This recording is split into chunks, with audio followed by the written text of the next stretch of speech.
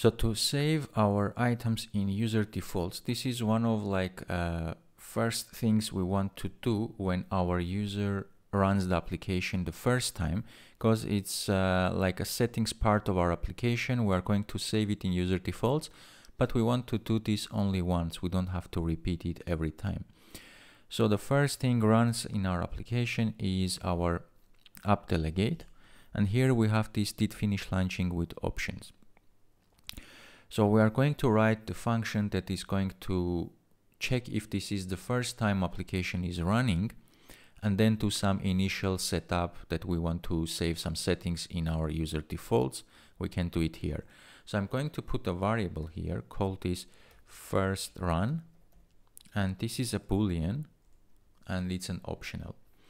And then in my did finish launching with options, after our Firebase configuration, I'm going to say first run check.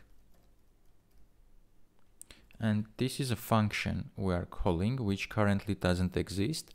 And this will throw us an error, but we're going to write it in just a second. So at the end here, I'm going to put a mark after our ready up uh, functions that are provided by Apple. I'm going to say um, mark first run. And then we say private func first run check.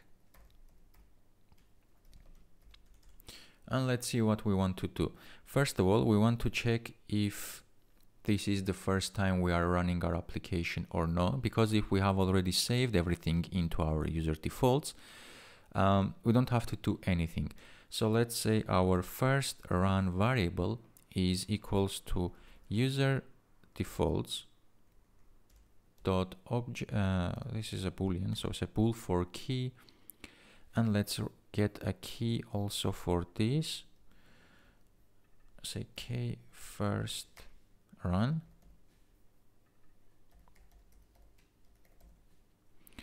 Build this. And let's go here. We say k first run so we are going to check for something called first run key in our user defaults. If there is nothing here in our user defaults it means our first run will be nil. Actually in our case it's a boolean. It's going to be false. So then I will check if our first run, which means true, and then we put exclamatory mark in front of it, mean it's false. So if after checking this, our first run is false, it means our user has never run our application yet. Or in our case, we have run our application, but the setup wasn't done, so this k first run doesn't exist. And I need to uh, unwrap this because this variable here is a boolean uh, boolean and optional that's why we're unwrapping this and if this is the first time we are running the first thing I want to do is to save all our uh, statuses in our user defaults and also to save a true for our first run so we don't have to go through this process again. So I will say user defaults dot set and then we are going to set true for key k first run so our first run from now on will be true. And then we want to also set our statuses. So let's get all the statuses. So we say let status is equals to and we access our status dot array which is our array of all the status objects. And then we want to map it. And we want to map this is gonna be a dollar sign dot zero. So we are going to get the raw value. Dollar sign zero dot raw value. Because each of our enum has the raw value which is the value of our let's go to our statuses of our enums. So it's in model. So each of these things here is the raw value so if you access the available.raw value, it will give you the value of this. So we are going to create this array and we're going to map it. And once we have the map of all statuses, which is the array, what we want to do is say user defaults dot set and we want to set our statuses for key and we need k status. All right and finally we want to save this thing so we say user defaults synchronize and this will do it. Let me put a print so we know this works. Um, this is first run and also I'm going to put a print here say first run check. Alright command P to build our project and it looks like it's successful. So let's just get rid of some empty lines here and I'm going to build my application. So right now both of these should run should print out because this is our first run So let's see, it says first run check, and then it says this is first run, which is good. And let's say I want to rerun my application. We stop and rerun. So let's see what it prints out now. It says this is first run check, and our this is first run doesn't print out because we have already saved something for our uh, k first run and this part of the if statement doesn't work so we are all okay. Let me get rid of these prints. And we also want to check our uh, statuses here. So if I come let's see nothing is working. Let's go to our status table view. And status count. We are loading everything. Let's print something here. Loaded statuses.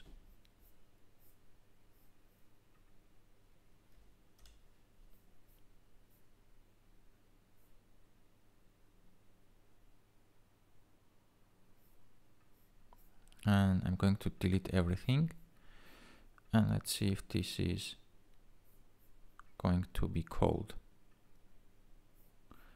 so load user statuses is not being called at all. Which is very weird. We are calling it here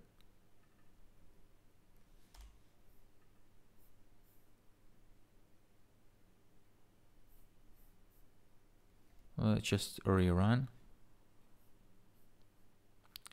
Oh I see my mistake.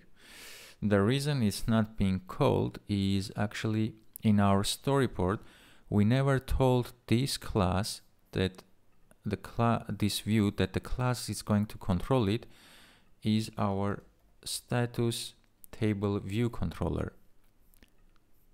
So it doesn't know that this belongs to that and now if we are going to run let's go to our status table view. And again I'm going to clean everything. We go to our label. Says load user status and everything is loaded nicely. So if I click right now nothing happens. And the reason nothing is marked here is if you go to our Firebase here, under our user, you can see status, hey there, I'm using Messenger. And none of it is available here. That's why it's not ticked. So we need to write some kind of code that every time I select this row, it's going to be marked with a tick. Also, our user status should be saved with the currently selected status and finally, it shouldn't stay selected, it should be deselected as soon as I click it. So let's get rid of this print statement. And we are going to do is the easy one. Let's do the uh, selection. So I will call, I need the function did select row at index path. This function is being called every time our user selects a row. So here what we want to do is say table view deselect row at index path and we pass the index path animated true. So this will deselect our selected row.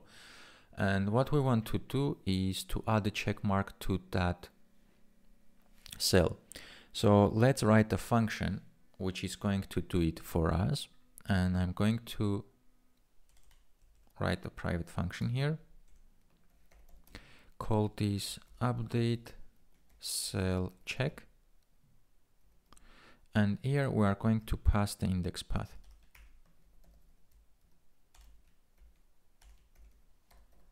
which is an index path.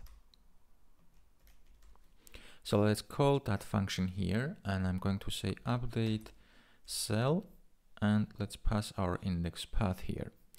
So let's see what this update cell function should do. Should should just put a check mark into uh, next to each cell that we have selected. So I'm going to uh, do the saving here for our user. So say if var user is equals to user dot current user. So we have a current user. Then I can update my user status. And this is gonna be equals to my all statuses index path dot row. So this way our user is updated. So let's save it. We say save user locally and I'm going to pass my user. Then we say Firebase user listener dot shared dot save user to Firestore and then I will pass my user. So what this does is updates our current user. And once we do that, updating the check mark, I will say table view reload data. And once we reload data, this table view cell for row index mark uh, index path will be called. And then it will come here, check what status we have, and then it will compare if our user status is equals to that status.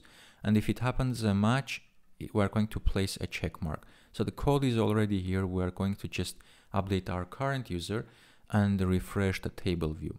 So let's try to see if this is working. And also I'm going to open up my Firebase so we can see that the status here will change or not.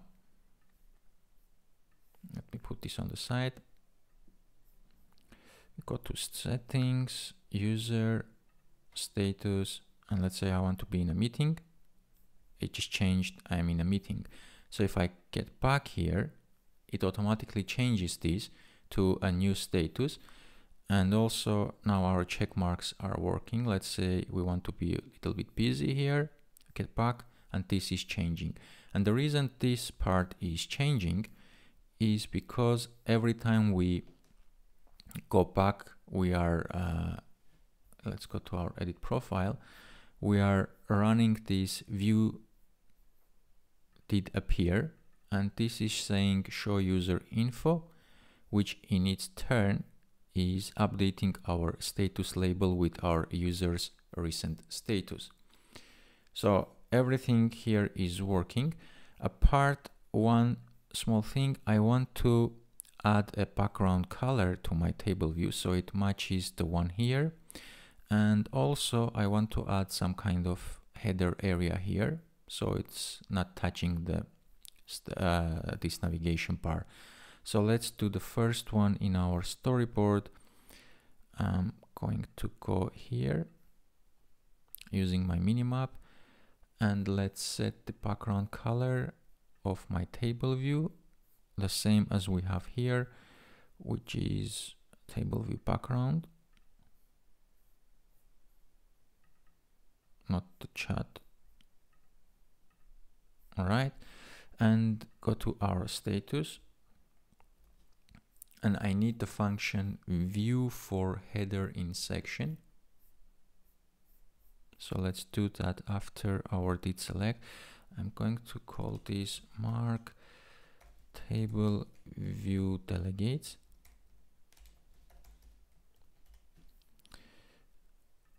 And we say uh, we want a view for header in section.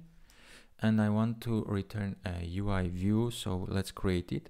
Say header view is equals to UI view. And then we say header view dot background color is equals to UI color. And let's get the name. And mine is called table view. Actually no it's table background. Let me just make sure we have it correct. In my assets I go and under my colors table view background. Yeah it's better to copy and paste this so we are sure that this is working so we have created our view. Now I can just say return header view. And let's run.